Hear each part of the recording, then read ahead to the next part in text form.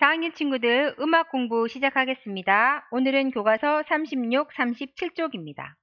파란 마음, 하얀 마음. 어, 굉장히 가, 제목부터가 예쁜 그런 노래인데요.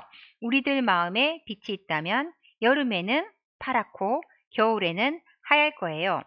산도들도 나무도 지붕도 어, 여름에는 파랗게 겨울에는 하얗게 이렇게 덮인 속에서 파란 마음 하늘 보면서 자라고 깨끗한 마음으로 자란다. 이런 가사인데요.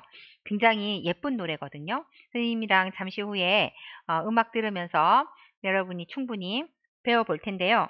먼저 우선 이 곡은 바장조의 곡이에요.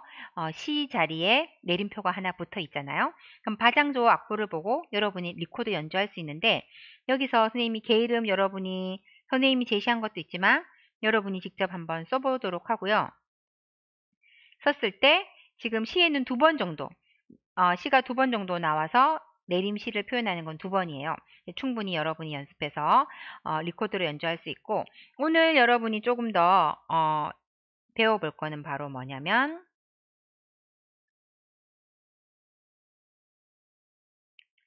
네, 노랫말과 가락의 아름다움을 느끼며 노래를 불러보고 난 후에 음의 길고 짧음 높낮이를 구별해서 노래한다. 노래를 충분히 하다 보면 아마 이거는 자연스럽게 우리가 익히게 될 텐데 그리고 난 후에 수화로 노래를 지금 배워보게 되어 있는데 수화를 하는 건 선생님이 여러분에게 좀 전문가의 도움을 받기 위해서 선생님 영상을 구했습니다.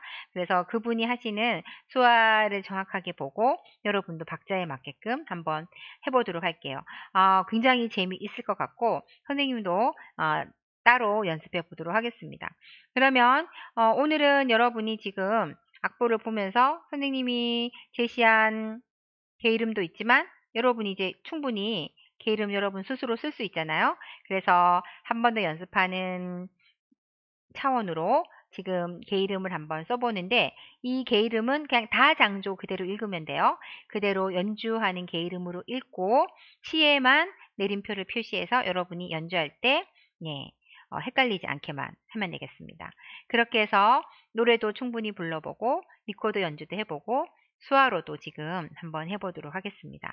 아, 수화가 조금 어려울 수 있어요. 수화는 박자에 맞게끔 부드럽게 넘어가는 부분까지 되려면 좀 연습을 많이 해야 하니까 지금 처음에 동작을 조금 익히고 이번 시간에 한두 번 정도 따라해 보도록 하고요.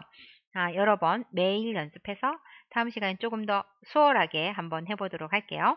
그러면 지금부터 어, 선생님이 음악을 준비할 테니까 음악에 맞춰서 노래, 리코더, 수화까지 한번 해보도록 하겠습니다. 그럼 친구들 뒤편에서 음악과 함께 열심히 연습해 보도록 하겠습니다.